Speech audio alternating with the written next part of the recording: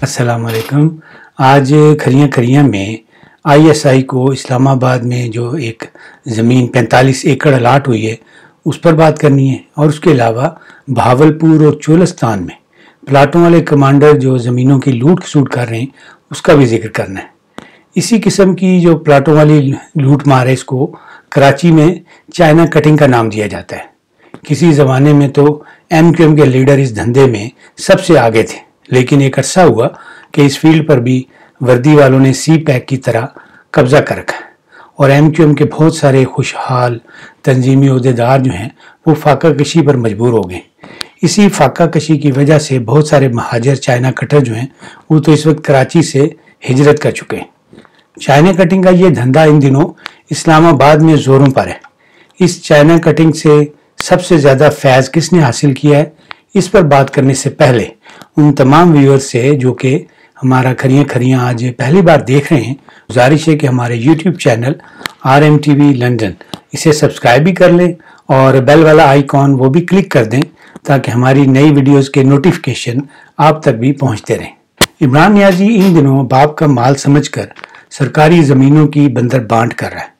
ویسے تو باپ کا مال کہنا تھوڑا سا غیر مناسب ہے، لیکن نواز شریف کے دور میں عمران نیازی حکومت پر تنقید کرتے ہوئے یہی الفاظ استعمال کیا کرتا تھا۔ اسی لیے میں نے بھی وہی جملہ دہرا دیا ہے تاکہ اس کو اور اس کے پیروکاروں کو بات اچھی طرح سمجھ آ جائے۔ ویسے عمران نیازی پر پلاٹ کے حوالے سے باپ والی مثال جو ہے وہ کافی تک درست بھی ہے اور وہ اس لیے کہ اس کا جو اصلی ابا ہے، وہ کافی عرصہ لاہور میں پلاٹوں کا دھندا بھی کرتا رہا ہے۔ چند روز پہلے نیازی کابینہ کی اسی اقتصادی رابطہ کمیٹی جس نے چینی کی امپورٹ ایکسپورٹ والا جو جرم ہوا تھا، اس کی قانونی منظوری دی تھی۔ اب اسی کمیٹی نے فوج کے خفیہ ادارے آئی ایس آئی کے لیے وفاقی دارالحکومت اسلام آباد کے ایک نواحی علاقے میں پورے پینتالیس ایکڑ اراضی جو ہے، وہ الاٹ کرنے کی منظوری دے دی ویسے تو کافی عرصے سے آئی ایس آئی اس اراضی کے پیچھے پڑی ہوئی تھی۔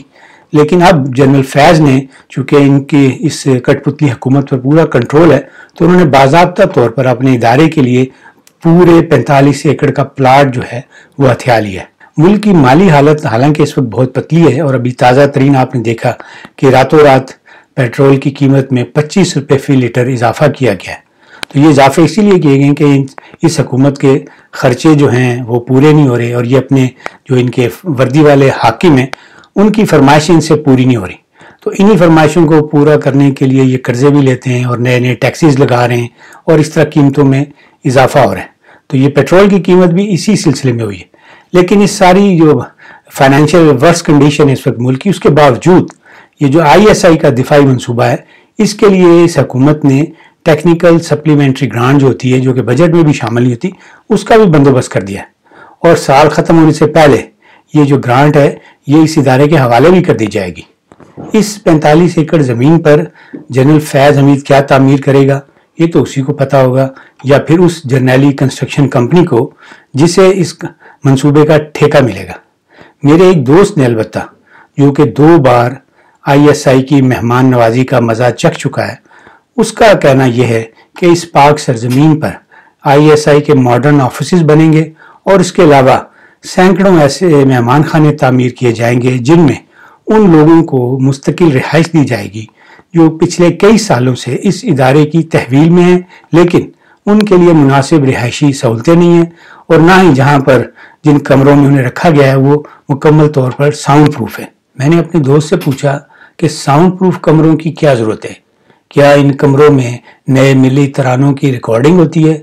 جس کے لیے کمروں کا ریکارڈنگ سٹوڈیوز کی طرح ساؤنڈ پروف ہونا ضروری ہوتا ہے۔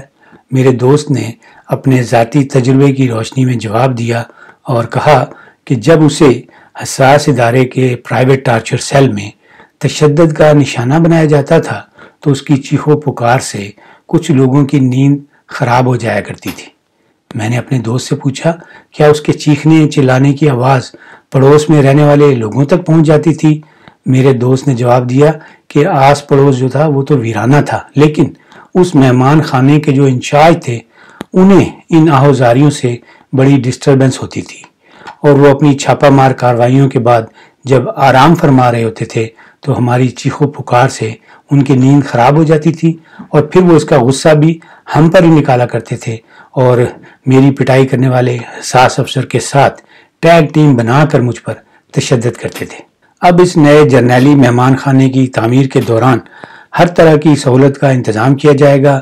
ہر کمرے میں ریاست کے دشمنوں کو راہ راست پر لانے کے لیے جدید اکوپمنٹ بھی ہوں گے اور اس کے علاوہ یہ کمرے ساؤنڈ پروف بھی کر دیے جائیں گے تاکہ میرے جیسے گستاخوں کی چیخیں اپنے اپنے کمروں تک ہی محدود رہیں اور کسی اعلیٰ افسر کی نیند خراب نہ کر سکیں۔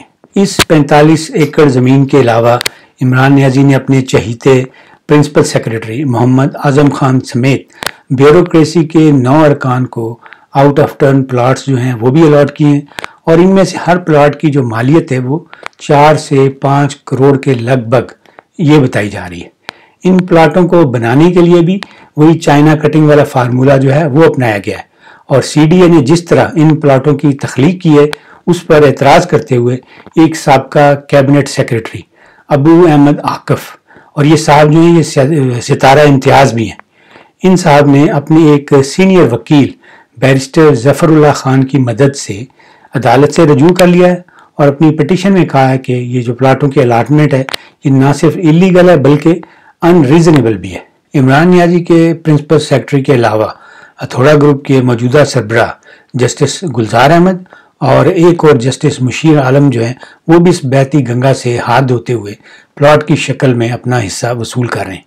چند روز پہلے قومی اسمبلی کے رکن ریاض حسین پیر زادہ نے جرنیلی ادب اداب کا لحاظ کرتے ہوئے بہاول پور میں فوجی چائنا کٹنگ کی ایک لمبی چوڑی دردناک کہانی بھی اسمبلی کے فلور پر سنا دی۔ ریاض حسین پیرزادہ نے بتایا کہ فوج اپنی کاروباری سرگرمیوں کے لیے جنوبی پنجاب میں زمینیں لے رہی ہے اور ان زمینوں کے لیے فوج آٹھ آٹھ سو سال سے آباد جو لوگ ہیں، ان کو زمینوں سے بے دخل کر رہی ہے۔ ان کا یہ بھی کہنا تھا کہ ہمارے جو اس علاقے کے لوگ ہیں، چولستان اور بہاول پور کے، ان کے ساتھ فوج بالکل اسی طرح کا سلوک کر رہی ہے جو کسی زمانے میں امریکہ میں جو قابض لوگ تھے، جو آئے تھے باہر سے، انہوں نے ریڈ انڈینز کے ساتھ، وہاں کی مقامی آبادی کے ساتھ کیا تھا۔ ریاض پیر زادہ نے یہ سوال بھی اٹھایا کہ فوج کو ان کاروباری سرگرمیوں کی اجازت کس نے دی ہے اور وہ کس قانون کے تحت فوجی مقاصد کے لیے زمینیں حاصل کرتے ہیں اور پھر ان پر ہاؤسنگ سوسائٹیاں بناتے ہیں۔ اس جرنیلی لوٹ مار کی داستان جو ہے، اسے منظر عام پر آئے ہوئے کئی دن گزر گئے ہیں اور اس کے بارے میں پاکستان کی اسمبلی میں بھی چرچا ہو چکا ہے۔ لیکن اس پر نہ تو عمران نیازی نے کوئی آٹا چینی ٹائپ کا انکوائری کمیشن قائم کیا ہے جو اس بات کا پتہ چلا ہے کہ بہاول پور کے لوگوں کی زمینوں پر یہ جو فوجی قبضے ہیں، یہ کیوں ہو رہے ہیں؟ اور وہاں کے کاشتکاروں کو ان کی جو زمینیں ہیں، ان کے لیے پانی کی فراہمی میں رکاوٹ کیوں آ رہی اور ان کے حصے کا پانی کون چوری کر رہا ہے؟ نیب کا ادارہ وہ اس وقت بھی نون لیگ کے رہنماؤں کا جو ہے، انہیں چیز کر رہا ہے۔ تین ماہ سے زیادہ کا عرصہ ہو چکا ہے۔ اس انتقامی ادارے نے جنگ اور جیو کے مالک میر شکیل الرحمان کو اپنی حراست میں لے رکھا ہے۔ اور ابھی تک کوئی ریفرنس جو ہے عدالت کے سامنے پیش نہیں کیا گیا۔ سرکاری زمینوں پر قبضے ان دنوں ہو رہے ہیں۔ پلاٹوں کی غیر قانونی الاٹمنٹ جو ہے وہ بھی جاری ہے۔ لیکن اس طرف توجہ کرنے کی بجائے نیب کے افسران جو ہیں، وہ میر شکیل الرحمان سے اس دور کے پلاٹوں کا حساب کتاب لے رہے ہیں، جبکہ عمران نیازی کا سیاسی جنم بھی نہیں ہوا تھا۔